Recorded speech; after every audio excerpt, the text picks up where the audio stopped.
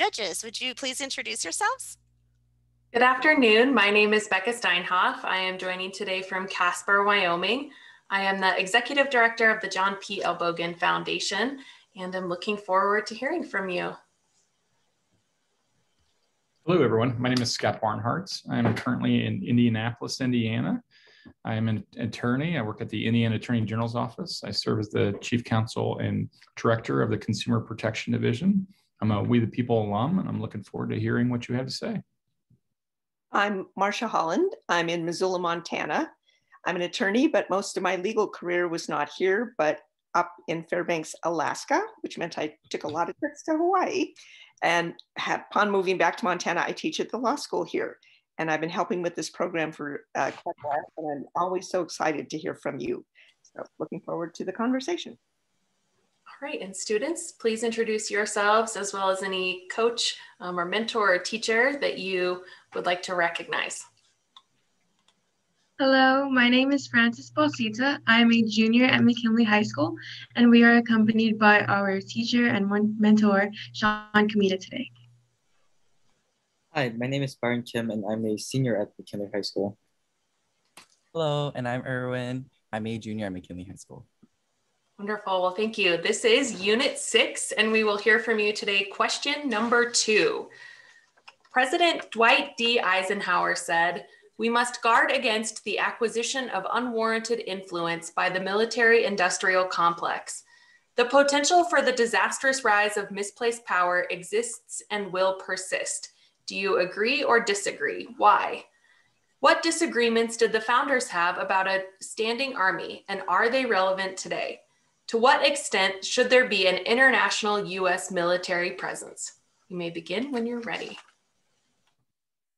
Once the supreme commander of all allied forces, ex-US President Eisenhower believed that while our military is necessary to secure our nation, it is imperative citizens to keep a close eye on the power armed forces hold so we are not dictated by them.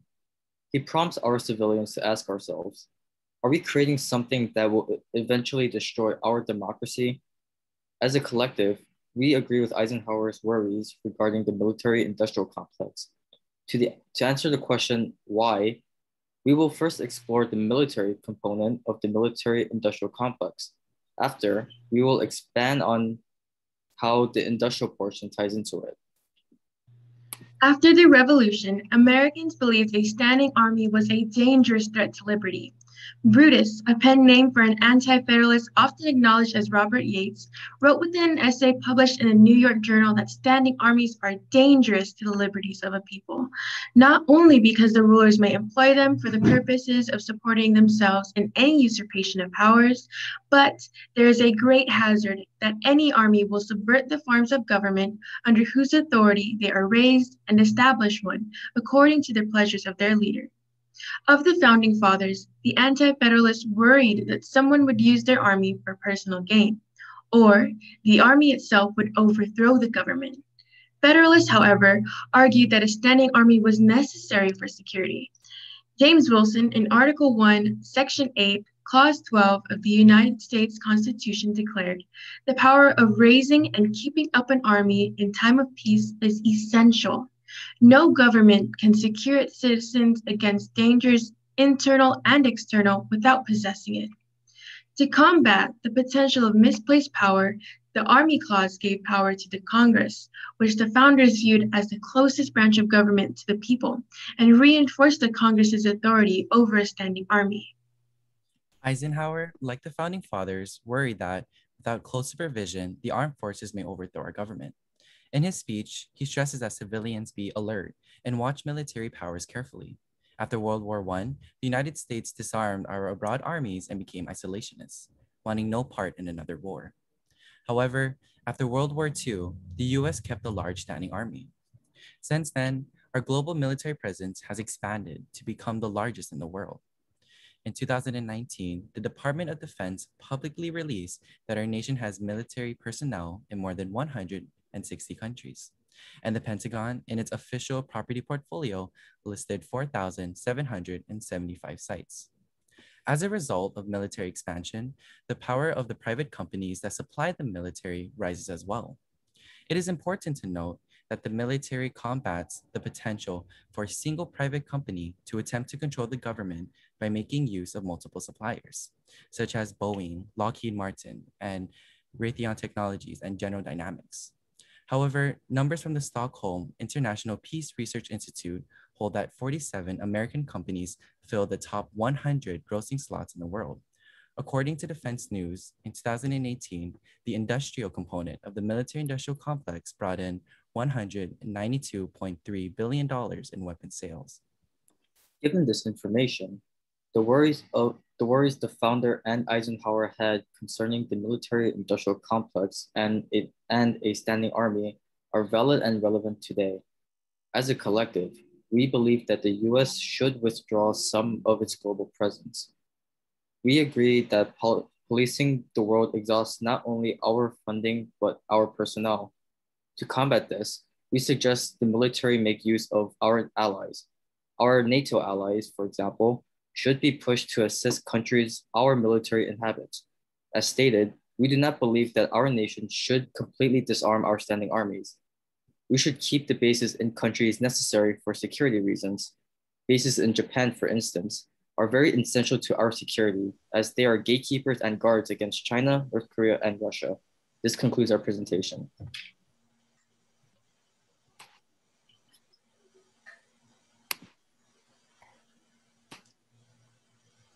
So I have a question to kind of follow up on your on your opening statements. If you believe that we should withdraw our presence worldwide, um, either contraction physically in the form of uh, reducing troops or financially in the form of from a budgetary standpoint, what impact will that have on our reputation worldwide and, and the United States as a superpower?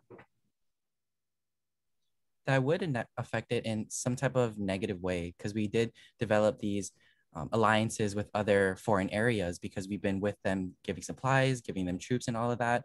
Even though it would cause a disruption in our reputation in a sense, it is still important to note that we must take care of our own nation before others. I agree with Erwin. And to expand on that, I feel that once you put your foot down in a country, it can be hard to take it out. Um, some places like Afghanistan, we're kind of there for moral obligation. There are places, um, like Byron said in our script, like Japan, where it's for security reasons. And I do feel that as of right now, you're absolutely correct. The United States is a superpower. But are we able to continue to exhaust our resources using such a grand and large army? Or would our efforts be better used if we place them and push them towards working on domestic issues or just lessening how much money and budgeting we allot to the Army and repurposing it for things that are actually within our nation, like homelessness and education, stuff like that? So let me ask you this. You mentioned in your opening um, statement that in World War One, the United States responded by becoming an isolationist nation. And then after World War II, um, an expansion happened. And those are the last two actually declared wars, but there have been five other conflicts. What made the change happen? Why did the United States move from World War One to World War II? To even though we haven't been in a war since World War II, an ever increasing um, military and industrial complex. Any thoughts?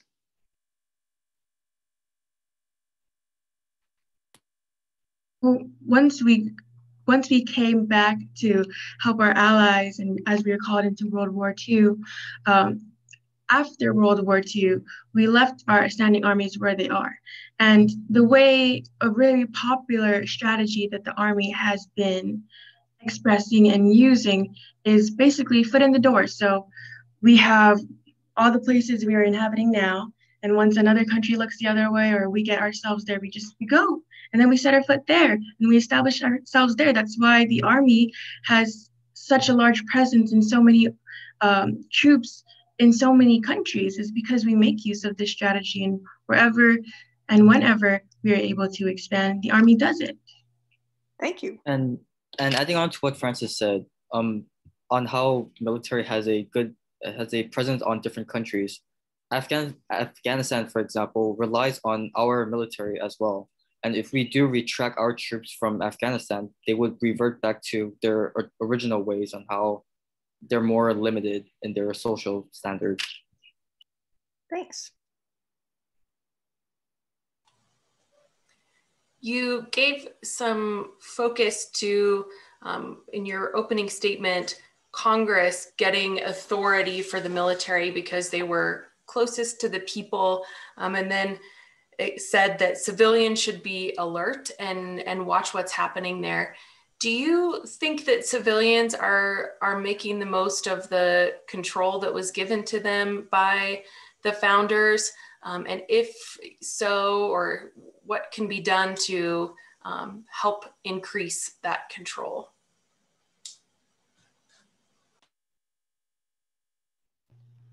I think that how our society works, it's a very domino effect. So when the people, such as you and I, want to see change in our government, we start advocating for things, we bring it up to Congress, Congress brings it even further, and it just goes down this chain until everybody hears our ideas. So I feel that if the people wanted more control, then we should start there. We should start with us, make the change, advocate for ourselves more, spread information about what we want to see, be very open and talk, ex- be very expressive for what we want to see reflected in our government.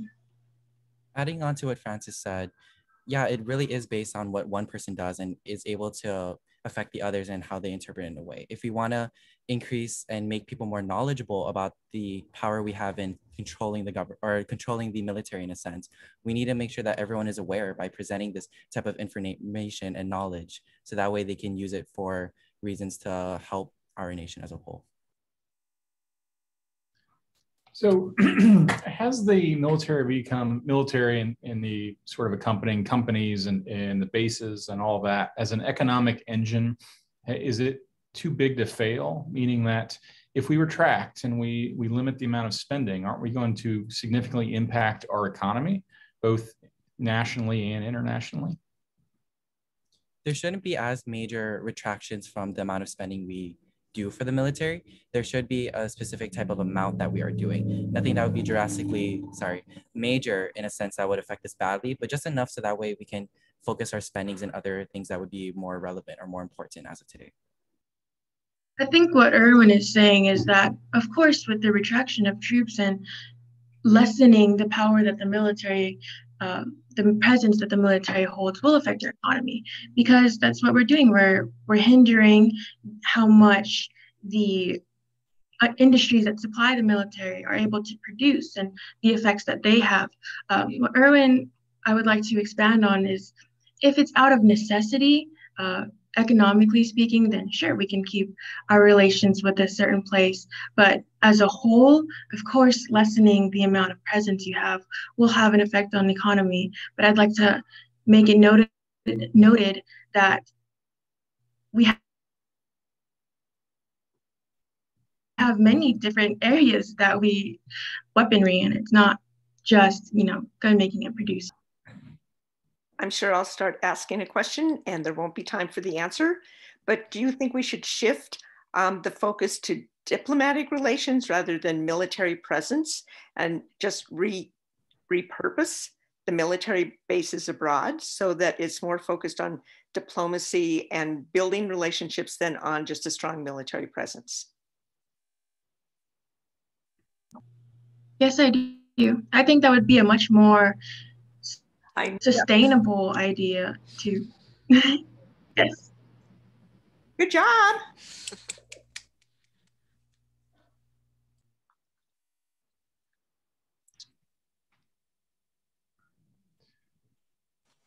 I'm going to start with comments here. So I was just taking a look at my notes.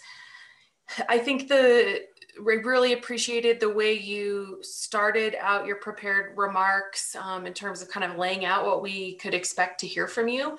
Uh, that was helpful and it kind of gives us, in addition to the, the prompts that you've been given, um, a sense of where we're headed and a way um, to think about the roadmap that is ahead of us. Um, I really liked how you pulled in some of the history and, and really talked us through um, the who was for, who was against, and what some of those arguments might have been for the standing army.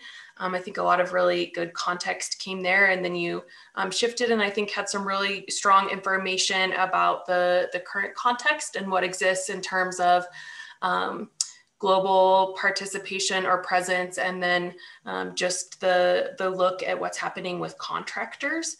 Um, so I think you included a lot of research, and it's always great um, to hear some of that.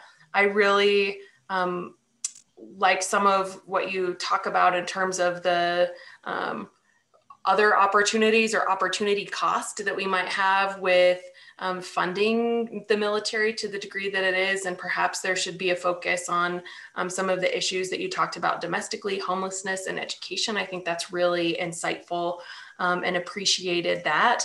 Um, I think you were thoughtful in um, addressing our questions and, and took some time to really think about how to respond and then use your teammates um, to get at some of that. so overall, well done. Yeah, I, I, agree. I thought you, I you all did a great job. Um, very passionate about your positions, and, and that passion comes out. Absolutely. Um, I would be be careful a little bit about going over on time. We're like trusty trail horses when we see the time card, and we get a little bit blinded by that. So just be mindful of that kind of moving forward. Um, I also I really appreciated how you um, used your precision of stats and, and statistics in your, your examples. And that precision, that precision, and for example, I think you mentioned Pentagon portfolios, 4,000 some um, locations. And uh, that helps sort of give credibility to your arguments and, and kind of support it in, in, a, in a kind of a different way. So I, I really appreciated that. I also appreciated your alliteration of, you know, the idea of physically seeing somebody step foot in the country and being able to pull them back. That was helpful as well. Uh, it's clear that you've studied this, this material and, and you've done very well. So good job. Nicely done. And ironically, I have down great use of stats, statistics, um, good research, really good examples. I really like the contrast World War One to World War II and really how the United States was perceived on the world stage. And just as Scott mentioned, the idea of a theme to your position as if one, you know, maybe we should quit putting our feet in so many countries. I really thought that's a really powerful visual image to use that brought your entire presentation together and everything else has already been said. So you you kind of impressed us all in exactly the same way. So good job, guys.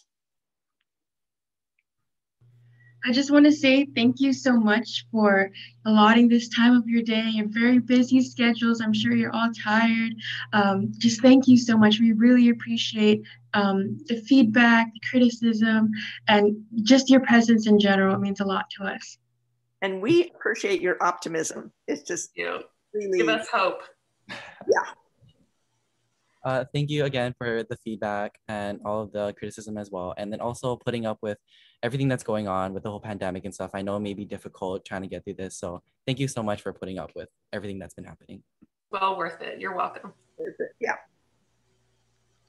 And thank you very much for the uh, criticism and feedback. Good luck. Thank you very much, judges.